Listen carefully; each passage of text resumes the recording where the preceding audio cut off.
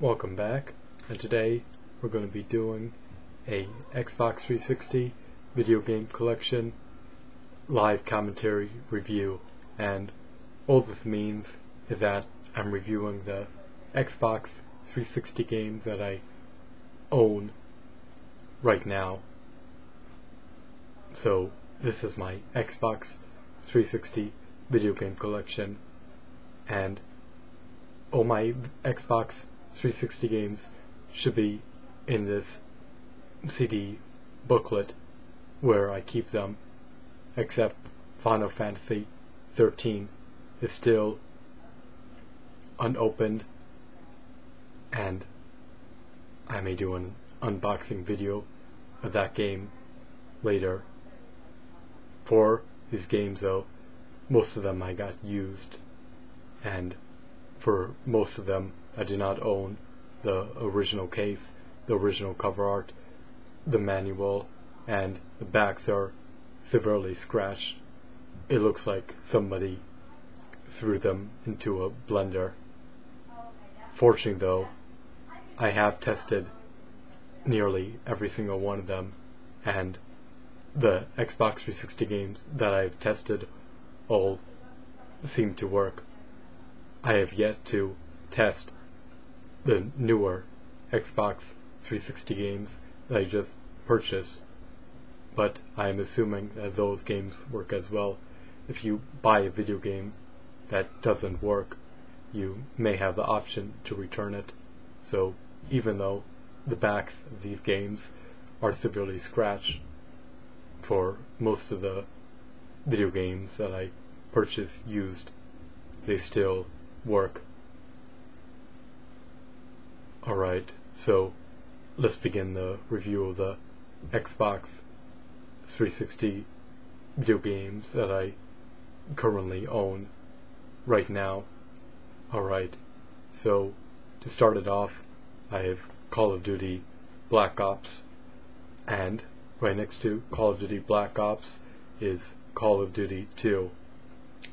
Right after Call of Duty 2 is Halo 3, the multiplayer maps.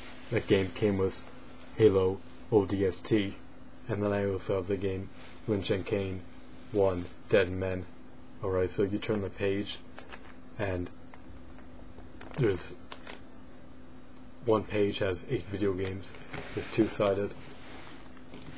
Alright, so let me move this over real quick. And hopefully I could reaches the camera so we could get a clear shot on these video games. There's Mass Effect 2 Disc 1 and Mass Effect 2 Disc 2, Borderlands, and Stranglehold. Alright. Now keeping these games in a CD booklet allows me to quickly access any Xbox 360 game that I want to play. So it's a huge advantage in order to save time to just be able to go in a uh, CD booklet and be able to find a video game quickly from a CD booklet. That way I could play a game quickly without having to search between many cases for an Xbox 360 game. Alright. There's Modern Warfare 2, Army of Two, Bioshock 2, Dragon Age Origins, or Dragon Age 1, and Modern Warfare 2. Alright, I think I announced them all. I guess we'll do this page first. There's the outfit, Call of Duty 3, I think that's Majin and the Forsaken Kingdom and War Tech. Alright. There's Bomberman, Halo Wars, Ultimate Alliance 2, and Lego Star Wars The Complete Saga. Next we have Warhammer, Battle March NBA 2K9 Legendary, and Kameo. Followed by that, we have Facebreaker, 99 Nights, The Darkness, and Call of Duty at War. Next we have Sonic, The Hedgehog, Lord of the Rings, The Battle for Middle-earth 2, Turok, and Two Worlds.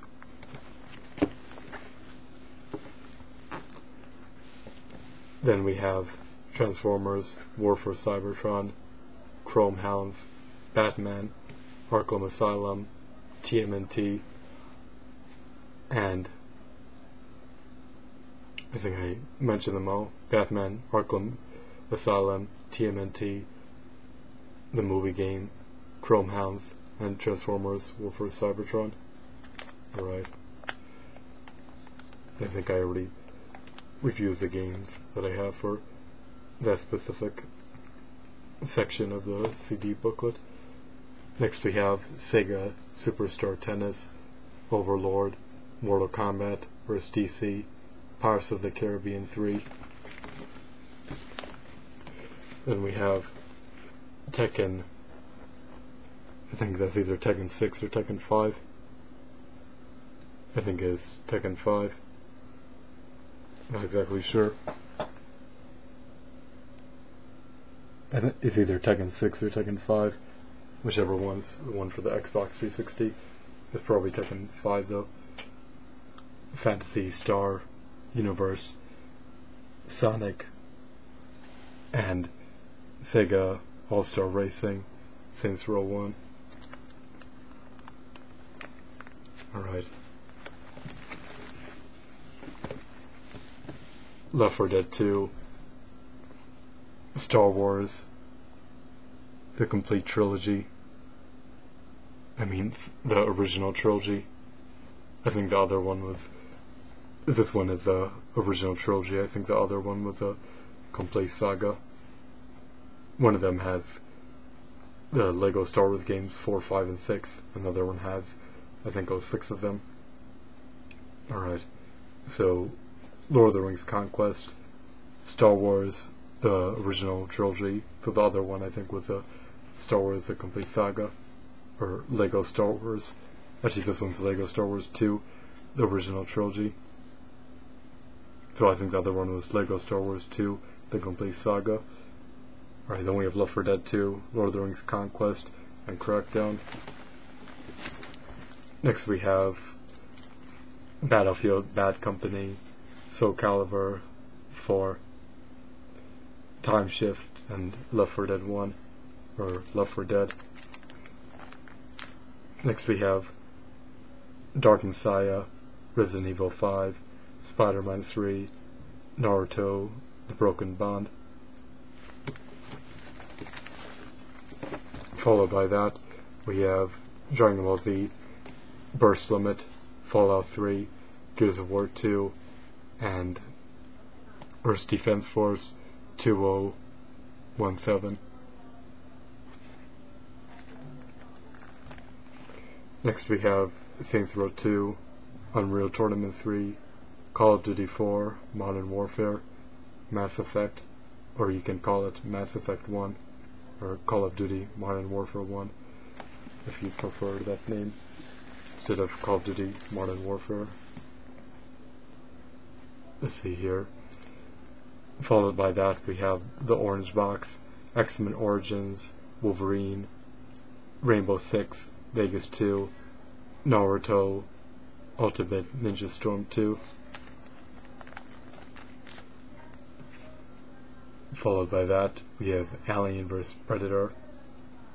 Actually, the name of the game is Aliens vs. Predator, Mortal Kombat, Ultimate Alliance 2, and Halo 3. Then we have your in the movies call Culdcept Saga or Culdcept Saga, however you pronounce that, Grand Theft Auto 4, Assassin's Creed, I think I said you're on the movies Grand Theft Auto 4 and Culdcept Saga.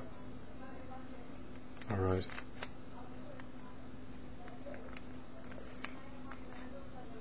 Then we have Naruto, Rise of a Ninja, Halo 3, ODST, Shadowrun, and Halo Reach. Followed by that, we have Enchanted Arms, Dragon Ball V, Raging Blast, Assassin's Creed 2, and Circle of Doom, or Kingdom of Fire, Circle of Doom. Alright, next we have Enslaved, Dark Void, Fallout, New Vegas, and Viking, Battle for Asgard. Then we have Lynch and Kane 2, Dog Days, Star Wars The Force Unleashed, Dead or Alive 4, and Frontline Fields of War.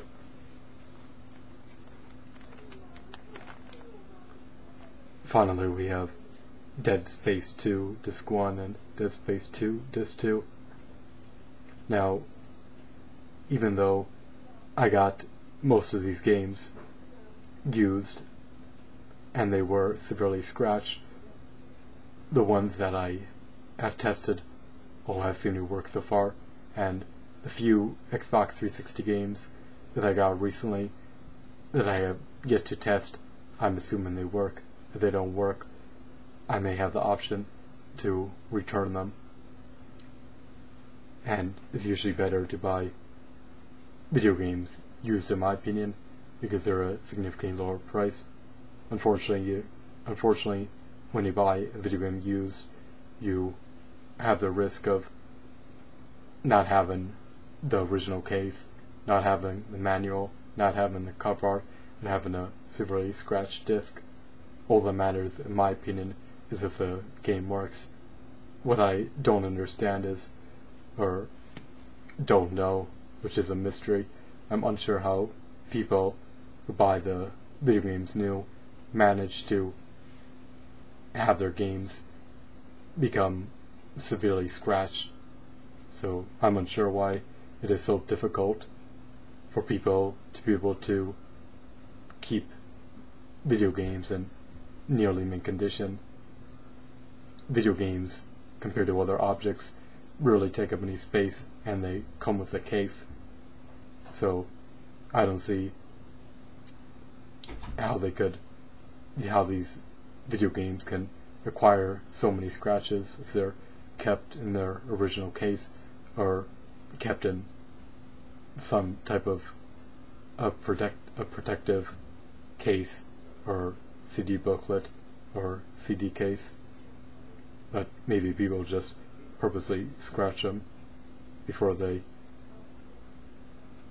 when they have the intention of selling them. I'm not sure though, but um, that's my Xbox 360 collection right now for June 16th, 2011. And if you want me to review a specific game, then send me a message or possibly leave it in the comments though. So thank you for watching. The Xbox 360 video game collection, live commentary, review. I'll see you guys later.